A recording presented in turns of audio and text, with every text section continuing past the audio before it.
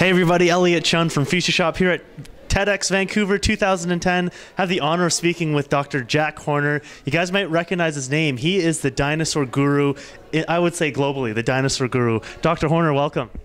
Thank you. And congrat- congratulations on a fantastic talk for TEDx. What did you share today? Well, I was mostly just talking about uh, about how we have too many dinosaurs and we need to get rid of some, and you know. Um, to the heartbreak of many six-year-olds, I think. If we're, if we're getting rid of them, I know I, I love them growing up as a kid. That's true, but um, we've overnamed them because there's juveniles that uh, people just didn't recognize, and so now we're starting to realize that that some of the dino, even like Triceratops, you know, a very popular dinosaur, isn't full grown, and when it's full grown, the full grown version we call Torosaurus. And now, so we, we Triceratops was named first, Torosaurus second. That means Torosaurus is sort of the name that goes. So now we know that Triceratops, a full-grown one, is really big and has holes in its frill.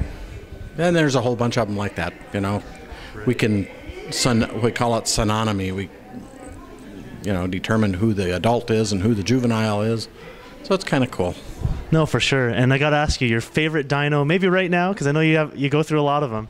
Well, I like Triceratops right now, um, just because we're doing a lot of work on it, and, and it's a cool dinosaur, and it changes drastically as it grows up. I mean, it its horns change and its frill changes, and gets big holes in its frill at the end. I mean, it's just it's really cool. Very remarkable. We actually saw that in your presentation. So if you guys want to check it out, visit the TEDx Vancouver website. You can see the whole presentation there.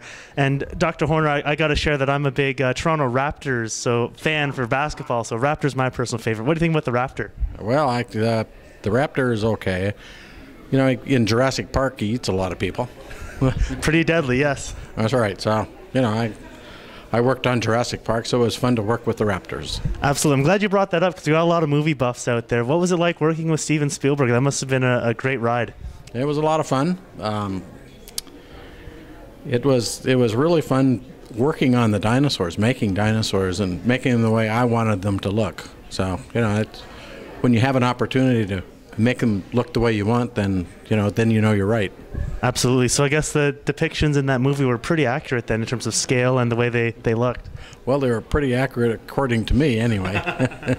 well, I think many would agree that uh, if there's anyone to talk about dinosaurs, it's you, Dr. Horner. My last question for you it relates to Future Shop and a Twitter campaign we have going on.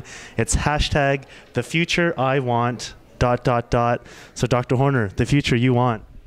I don't want anyone to go extinct. There we go. You heard it here first at Future Shop at TEDx Vancouver. Dr. Horner, thanks very much for being with us. You're welcome. very welcome.